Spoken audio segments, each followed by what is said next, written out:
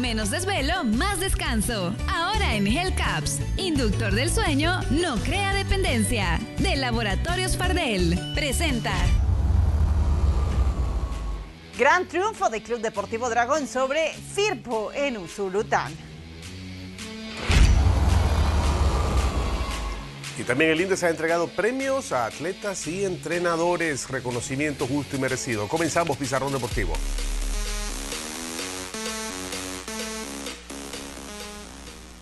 Somnium, menos desvelo, más descanso. Ahora en Hellcaps, inductor del sueño, no crea dependencia. De Laboratorios Fardel, presentó. Vives mejor, durmiendo bien. Menos desvelo, más descanso. Somnium, ahora en Hellcaps, inductor del sueño, no crea dependencia. De Laboratorios Fardel. Vives mejor, durmiendo bien. Menos desvelo, más descanso. Somnium, ahora en Hellcaps, inductor del sueño, no crea dependencia. De Laboratorios Fardel.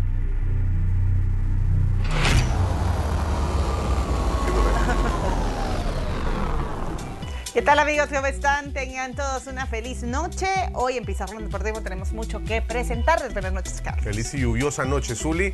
Mucho cuidado si tiene todavía que salir a esta hora. Así es, vamos a comenzar rápidamente porque estamos cargados de deportes. Vamos a hablar acerca de dos partidos que tuvimos este día en la primera división de fútbol profesional. Partidos reprogramados. Nos vamos en las horas de la tarde por la jornada número 7. Luis Ángel Firpo se enfrentaba al Club Deportivo Dragón.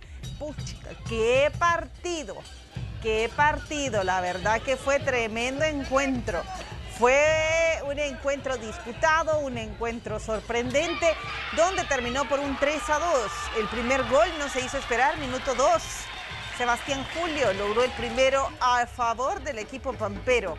No había pasado mucho tiempo cuando se venía el empate. Minuto 10, Arboleda marcaba el 1 a 1. El dragón respondía.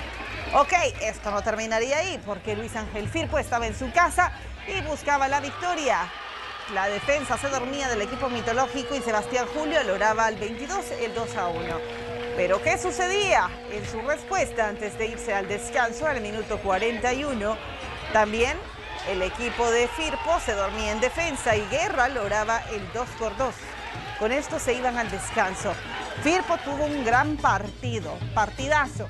¿Y qué pasaba? Por un costado derecho, el centro retrasado, cerca del borde del área grande, era John Montaño que dejó el definitivo 3 por 2.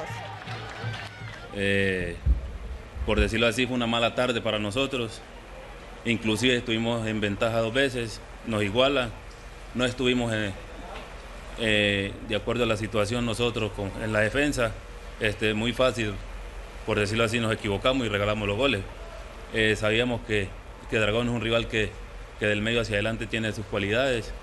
En el segundo tiempo se van en ventaja y no pudimos empatar a pesar de que tuvimos las opciones. Pero bueno, ahorita no por este partido somos los, los peores y, y ahorita nos toca sacar conclusiones. Pues gracias a Dios se los dio los tres puntos. Creo que fue un partido muy aguerrido por parte de los dos equipos y los motiva para seguir adelante. Después del juego con Alianza, ¿qué se habló en el camerino? ¿Cómo se trabaja? Pues se trabajó fuerte la semana ya que descansamos prácticamente 10 días creo y se trabajó fuerte para este partido estar bien preparado.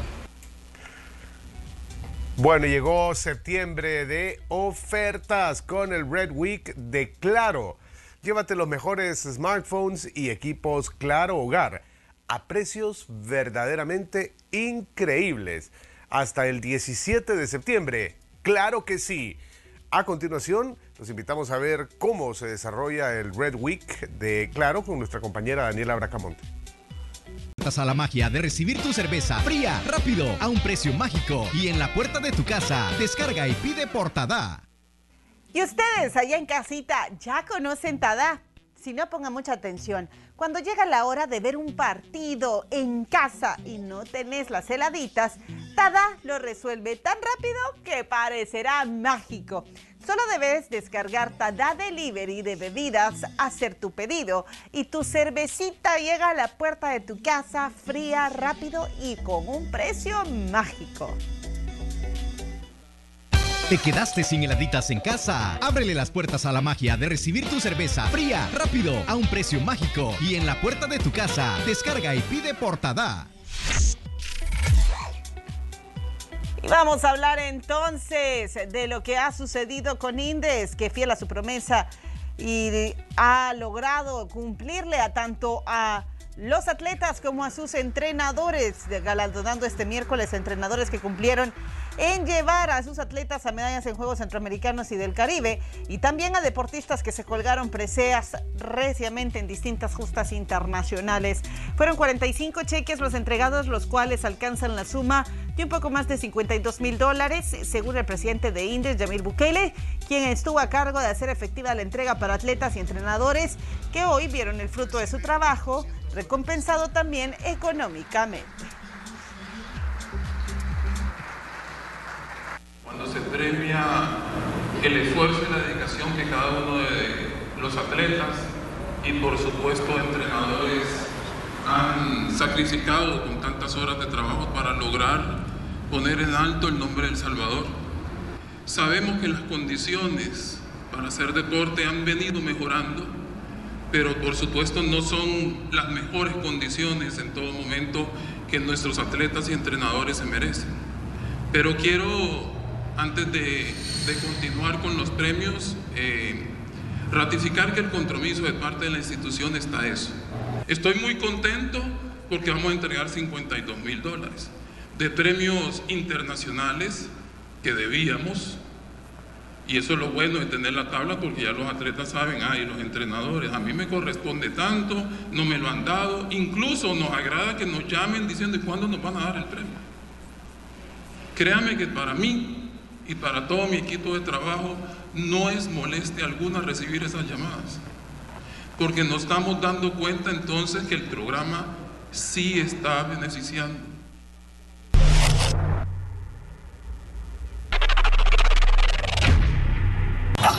En Polonia y la verdad es que viene de perder, ¿verdad? Su último partido eliminatorio el fin de semana no ha sido brillante la selección polaca bajo el mando del ya veterano técnico eh, portugués y apenas después de cinco partidos pues ha sido despedido de la selección polaca. Mire que allá no andan con tantas cosas, ¿verdad? No iban a esperar que sumara 13 partidos sin ganar Fernando Santos. Nada al quinto partido, adiós.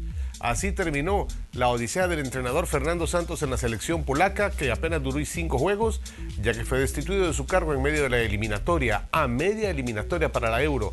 Había sido el sustituto de Czeslaw Michevich tras el Mundial de Qatar con la esperanza de encontrar estabilidad, pero pues parece que todavía no y tendrá que ser otro, el técnico de la selección polaca. Y ya se están dando los últimos movimientos del fútbol internacional. Hablemos de lo que ha sucedido con el Paris Saint-Germain. Ya se hablaba de la salida de Berratti, pero ya es un hecho, ya que Berratti se ha comprometido con el club catarí del Al Arabi después de 11 temporadas defendiendo la camiseta del club de la capital francesa. El centrocampista internacional se comprometió con el club catarí después de 11 temporadas defendiendo la camiseta del club de la capital. Berratti no entraba en los planes del futuro del PSG y del nuevo entrenador Luis Enrique. Pese a jugar un papel destacado en la gran historia, destacó un comunicado el presidente del club francés, Nasser Al-Khelaifi.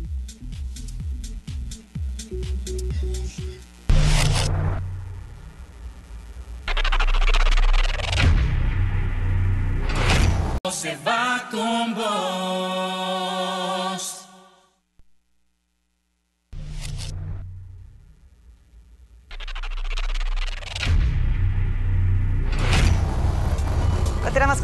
Hablemos de Brasil que ha derrotado en eliminatorias con gol a la selección de Perú. Un tan solo gol le ha bastado a la selección verde amarela para lograrse llevar esta importante victoria en la segunda jornada de las eliminatorias con Mebol. Tremendo disparo en el último minuto. Último minuto. Sería de Marquinhos. Bueno, ese era fuera de lugar. Ahora seguía al final tiro de esquina y acá ya sobre lo último. ¿Qué?